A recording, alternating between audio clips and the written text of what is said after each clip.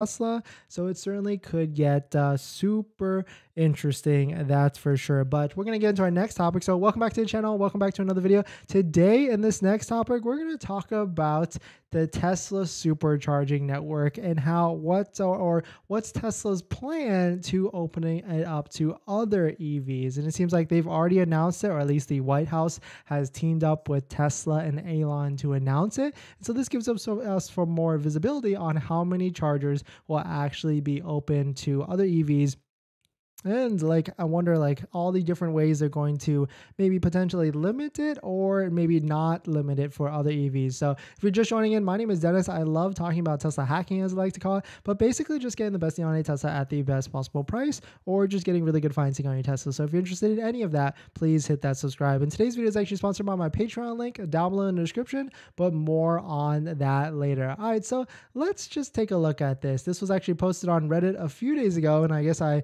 i missed it. Was all that supercharging hype or supercharger hype uh, that uh, Tesla is opening it up for everybody else. And I do wonder how like they're going to charge the, you know all the other uh, non EVs for payment. And I also wonder like how many of these non other EVs once they see how easy it is to use a Tesla supercharging network, hopefully because they're gonna have to download the app and it's gonna sync and all that stuff, they're gonna see how easy it is to plug in to the actual supercharger, and they'll see all these other Teslas are plugging in like super fast and not messing with any sort of apps or anything like that. And there's gonna be a lot. There's gonna be a percentage of conversions from non EVs to Tesla. So I certainly think this is a good idea. I mean, this is great for Tesla because the more impressions, the better, right? When they see when these non other EVs like these Ioniq fives, Ford Lightnings, or Ford Mach-Es are gonna be rolling up to these superchargers, and they see you know how easy it is for a Tesla to charge. There's gonna be some conversions. Uh, pretty sure, pretty sure. So Tesla will open a portion of its U.S. superchargers and destination chargers prior network to non-Tesla EVs, making at least 7,500 chargers available to all EVs by the end of 2024.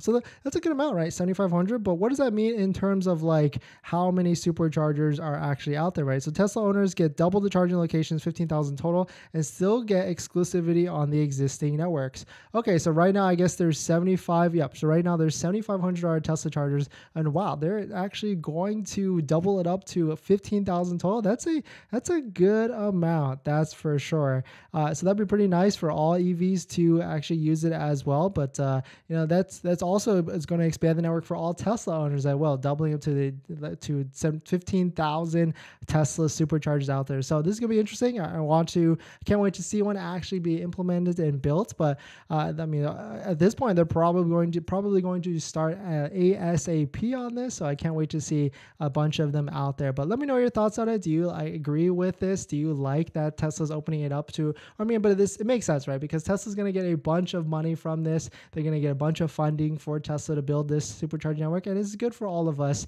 especially the long-term longevity for Tesla owners and buying that next Tesla. So let me know your thoughts on it down below in the description in the comments.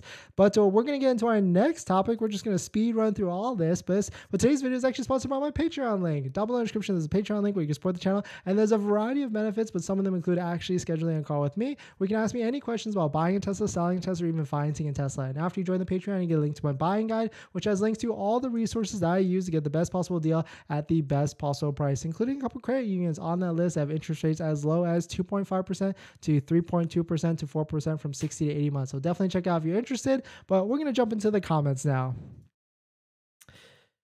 Water break.